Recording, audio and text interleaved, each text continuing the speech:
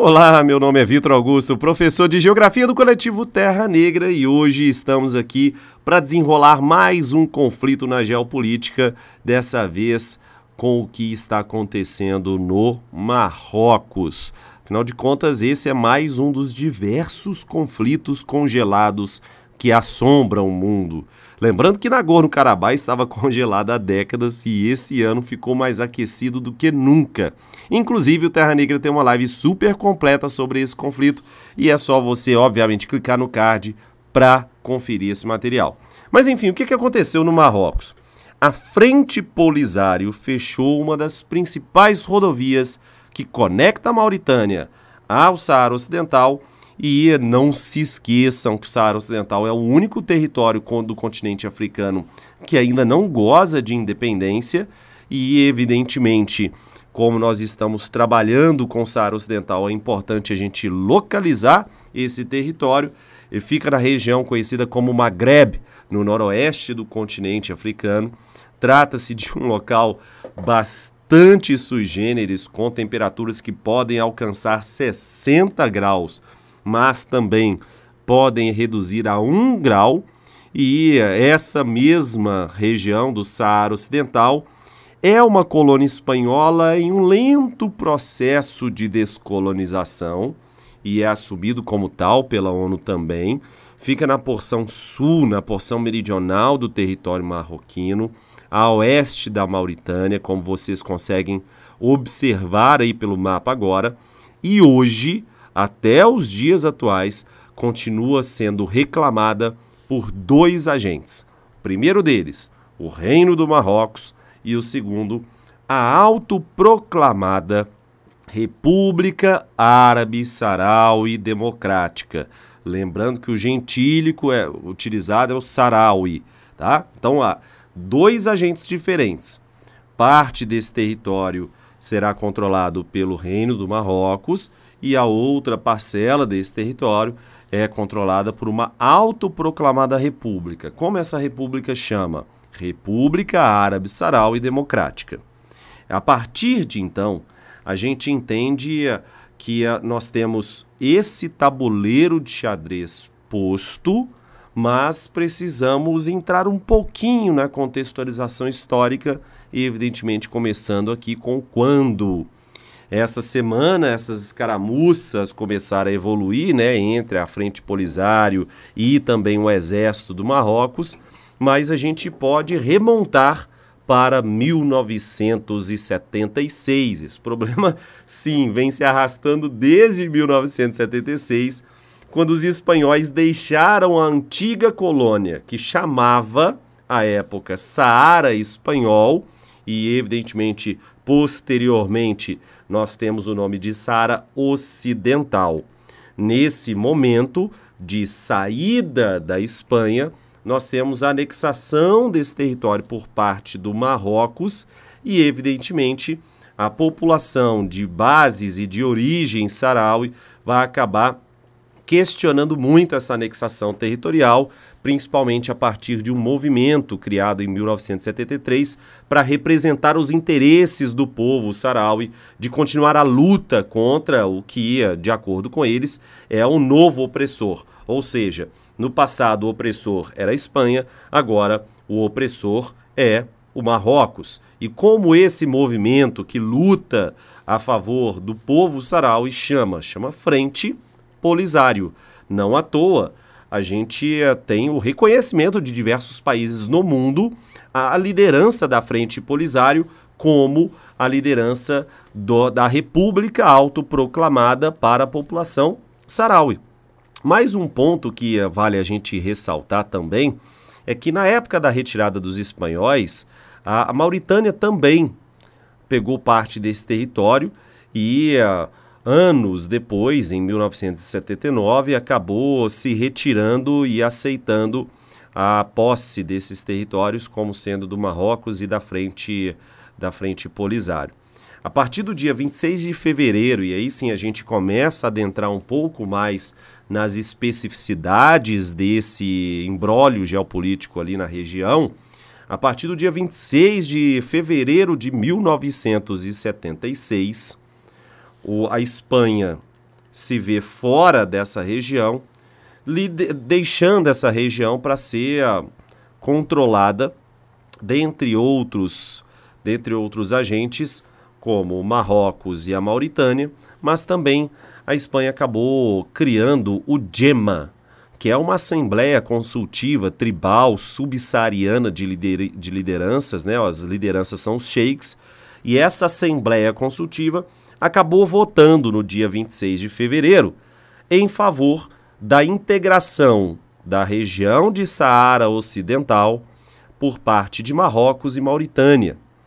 Só que no dia seguinte, no dia 27 de fevereiro de 1976, um grupo formado por ex-membros desse GEMA, né, desse, dessa Assembleia Consultiva Tribal Local, e também por outros líderes pró-Frente Polisário, né, pró-população do Saraui, população Saraui, acabaram proclamando a independência da República Árabe Saraui Democrática.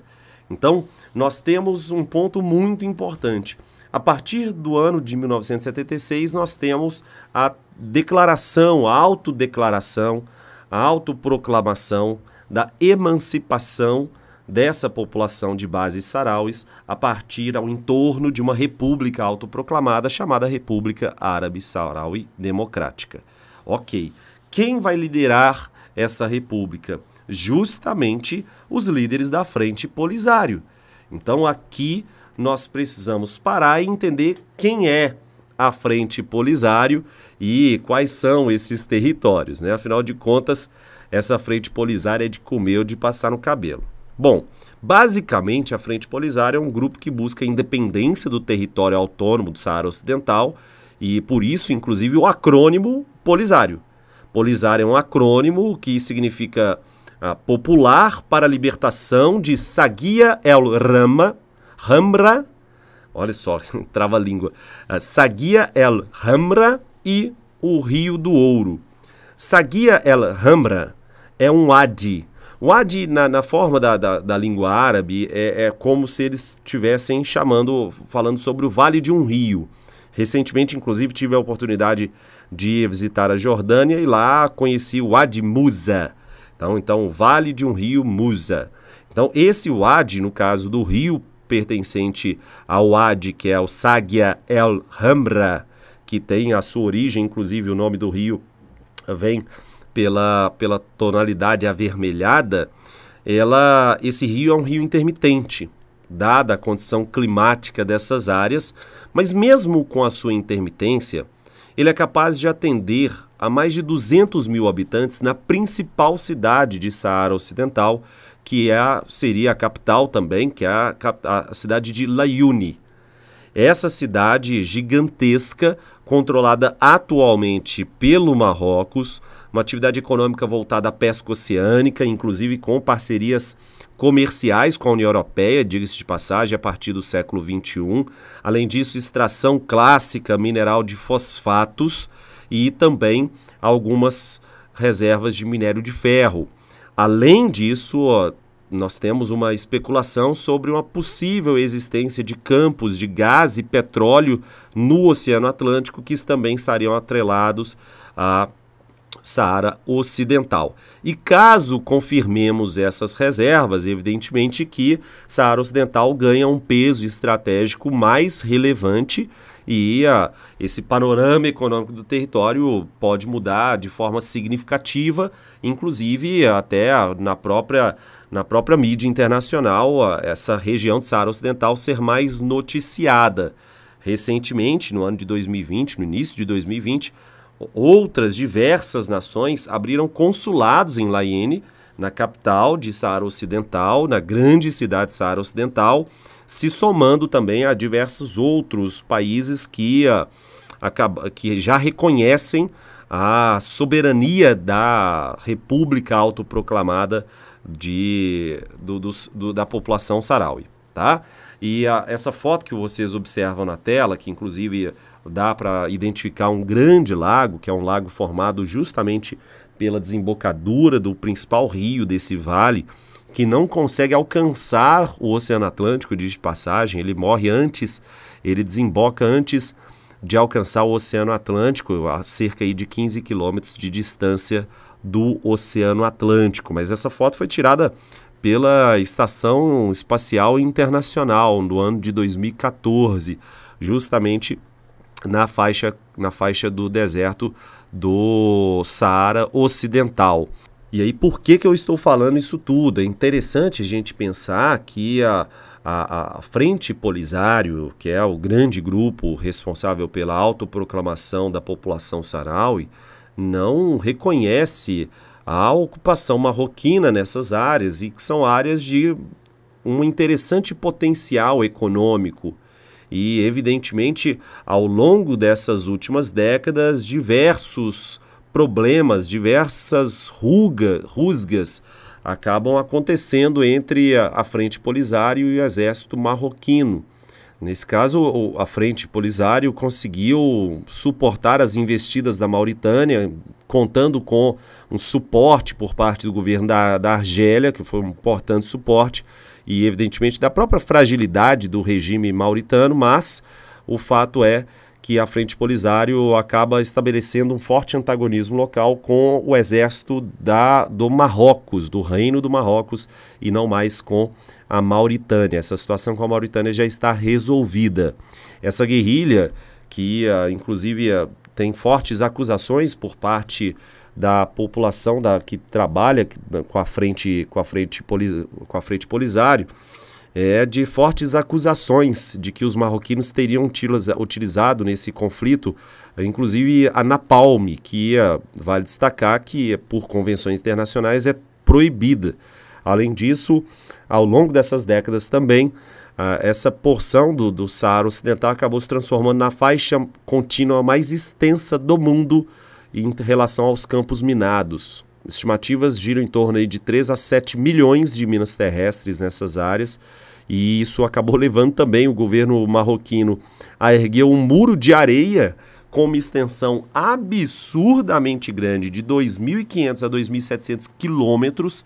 Esse muro que é conhecido como Berme ou Berme, e o que você observa, inclusive, diga de passagem na foto, é o, o, muro com destaques a esses círculos centrais, que é uma, uma forma de você levar um pelotão e é um núcleo defensivo dessa, dessa grande barreira de areia criada pelo governo marroquino para tentar controlar as investidas da frente Polisário. E uma coisa que muita gente pode perguntar também é, é, é se eventualmente não existiram tentativas diplomáticas e o, qual foi a participação da ONU nesse processo todo e o que vai acontecer a partir de agora. Vale destacar que a partir do, do, ano de 1991, diversas negociações entre a Frente Polisário e o governo marroquino, e, e o governo marroquino acabaram ah, inter, intermediadas né, pela ONU e a, o Conselho de Segurança estabeleceu a Resolução 690, que acabou criando a Missão das Nações Unidas para o Referendo Saara Ocidental, que é conhecido como MINURSO, e o principal objetivo da Minurso era encaminhar um referendo para a decisão política sobre a questão da, do território, se esse território seria realmente atenderia à autodeterminação do povo saraui ou se atenderia à população de origem marroquina. Mas o fato é que é, é, é muito difícil você pensar em uma região muito separada por uma infraestrutura muito precária. E vale destacar também que uma parte significativa da população saraui acaba morando hoje, buscando asilo político em outros países, com forte destaque para o asilo político buscado na Argélia, com grandes campos de concentração, com destaque muito grande para o campo de concentração em Tiduf, na vizinha Argélia. E isso faz com que a população saraui do Saara Ocidental é, tenha que ser contabilizada também essa pressão da, da comunidade saraui para que essa população que vive fora do país também seja contemplada nesses referendos.